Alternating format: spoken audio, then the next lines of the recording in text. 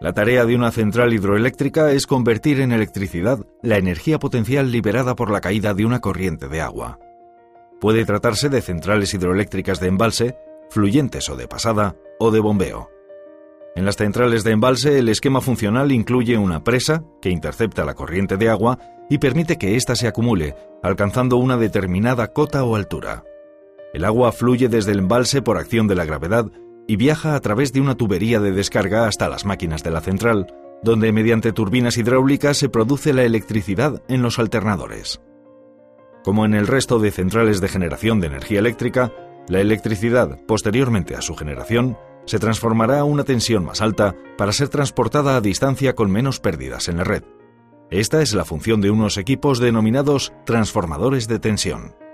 La gran ventaja de las centrales hidroeléctricas de embalse es que mientras la energía eléctrica es difícilmente acumulable en grandes cantidades, el agua sí lo es. La energía sí puede guardarse en forma de agua almacenada, algo muy adecuado para cubrir la demanda de una forma flexible, ya que permite ponerla en marcha cuando el consumo aumenta y reservarla cuando el consumo baja. Otro de los tipos de central hidroeléctrica es la denominada fluyente o de pasada. Estas funcionan igual que las centrales hidroeléctricas de embalse, pero no tienen capacidad de almacenamiento del agua. Es decir, las centrales de paso o fluyentes hacen pasar el agua disponible en ese momento por las turbinas, donde se produce la electricidad mediante alternadores.